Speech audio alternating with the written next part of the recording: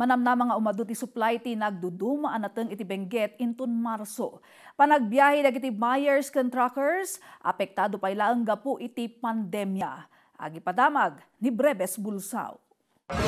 Inaklon ti liga dagiti asosasyon iti Latinidad Vegetable Trading Area adakkel ti posibilidad ti panagnato ti supply dagiti natnateng iti maudi alawas ti Pebrero aging iti Marso. Kagiddan ti mapaspasaran a panagturo iti minalem a mga piktar iti panagdakkel dagiti natnateng. Pagdandanagan dagitoy ti posible a panakapasar manen ti bagsak presyo a natnateng. amo tayo day law of demand and supply. Talagang ano, umaduday tangay kat ko. We are hoping ngay nga han kung mga bumaba as low as 10 pesos. Kasi once nga bumaba as low as 10 pesos, kat ang parigat man nga madispose tinatang. But as of now, ma'am, okay man. Okay pa naman, 38 pa naman ang repolyo. Impeteng na nga dati epekto ti panagingat dagiti da duma lokal ang gobyerno iti panagbiyahe dagiti buyers wenno truckers isut gapuna. Nga adda dagiti da duma asan a sumangat nga agatang iti Trinidad Vegetable Trading Post ken adda dagiti nagbawas iti bilang ti trips dagitoy. Feedback coming from the markets, ija baba. Oray adu tiket na nga agatang gamin ka nukot di border control.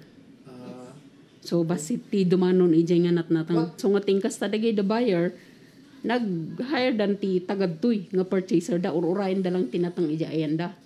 Kabayatan na inlawlawag met ti may sa a disposer buyer tinateng nga umno payla ang ti presyo dagiti kang runaan anat nateng kadagiti trading areas iti agdama kas iti repulyo, wombok, patatas, carrots ken dumapay gaputa kabailan dagiti buyers sa Jay Manila agatangen. kan permi malugi nga malugi ti buyer no AJP man nga agag 120 agad 110 nya anda nga kaya jay lulan Ay, ano ti pamayaan niyo siya, no? Kas jay. Awa na talaga nga maibos ti kwartan ti buyer met.